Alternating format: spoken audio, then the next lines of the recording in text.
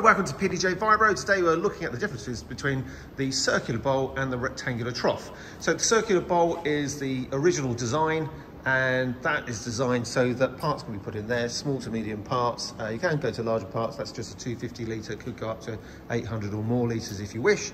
Uh, but what that machine will do is uh, the, the parts and the media move within the chamber, so it oscillates within the chamber and it rotates around the bowl, giving you a corkscrew di direction out of the the process and thus keeping parts away from each other if they're of a similar drag factor.